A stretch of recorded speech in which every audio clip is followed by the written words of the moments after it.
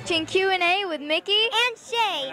And we are at Roger Neal Style and Couture Suites at the beautiful Luxe Hotel. And we are with Kelsey Scott. Hello there. Hi, nice to meet you. Very nice to meet both of you. What is it like being nominated for an Oscar award? Um, it's a bit of amazing. you can't really equate it with anything you've ever experienced in your life. and do you think that you will win? Well, I mean, it's, it's for the entire film, not just for me, but I, I hope that it'll be a, a, a, very fun celebration at the end of the night. so too. You looking forward to any after parties? I am, I am. I will be attending the Elton John after party, so I'm looking forward to that. and you were in 12 Years a Slave? Yes. Mm -hmm. Were you the main character woman? I was the main character woman. Character woman. I was the wife of the main character. oh, okay. Well, congratulations on getting Thank the you. part. Thank you. What was it much. like in that, uh, working in that film?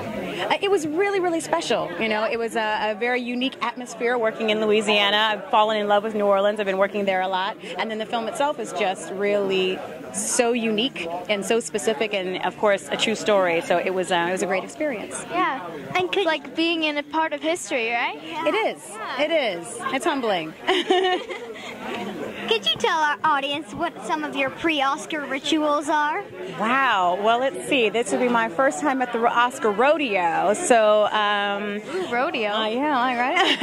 um, I think at this point, it's really kind of gathering friends whose opinions I trust, because uh, you know everybody will tell you that you look good in something or something looks good on you, but it's not always the truth. So, yeah. you're you wearing know, a trash bag. Oh my God, you look amazing. like that's great on you, and then your friends in the corner are like, mm mm. so. And which film, other than yours, of course, has influenced you emotionally?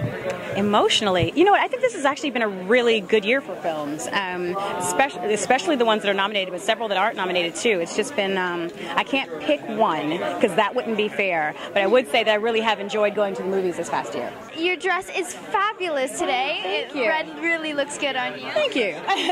Fab. Where did you get your dress from? Uh, this is Calvin Klein. Ooh, Calvin Klein. Klein. Fancy. Schmancy. How did you become so successful in this field where others have failed? Wow. Um, I think it's about staying in the game. I think it's about longevity. Like, you know, if you stay in there long enough, then something is bound to happen. And you are you kind of like a method actor, like Stanislavski's way type of way, or? I think it's a case by case basis. It's however you can get to that character authentically.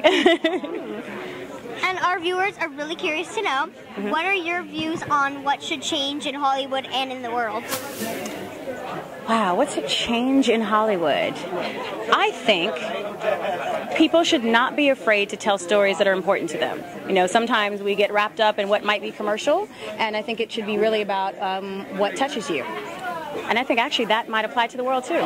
Don't be afraid to tell your story. I think all of our viewers out there would just want to know, like, as an actor in a big time film and it's a really like dramatic film a character um, like 12 years a slave like what type of emotions and like memories do you do you think upon to like get into your mood and character? And just how do you do it well you know sometimes you have to go to to, to dark places you know places where you yourself were experiencing something that was traumatizing or that that took you to a, a deep sense of grief. And, and i had to do that for this. Um, but you know that's why it's important that after the camera stop that you have a support system that includes not only your friends who are at home but trusting the actors and trusting the the man behind the camera especially steve mcqueen. Well we have something special for you. Uh-oh. yeah. What? You well, can add what? this to your collection. Of oscars it's a 3d printed oscar nice. the first one of your night yes and your Oscar speech now. Practice. yeah. Thank you so much. Yeah, that's it. Okay. All right, all right. That's what I've got so far. I'm working on it. I'm working on it. Oh, yeah. Bring all the long paper. Thank you. Thank Thanks you so watching. much for having me. You guys are adorable.